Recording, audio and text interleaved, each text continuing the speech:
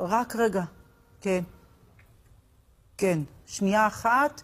יש דיווח, הלוואי והוא נכון. אל מי אנחנו עוברים כדי לקבל את העדכון הזה? צ... צה"ל שחרר חיילת שנחטפה.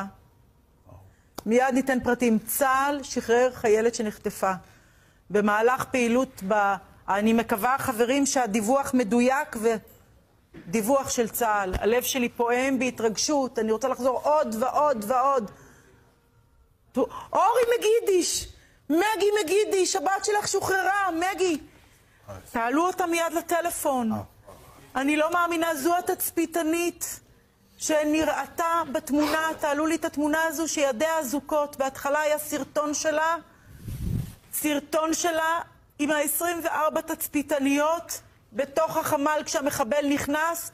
לאחר מכן חמאס שחרר תמונה של ארבע תצפיתניות עם ידיהן קשורות.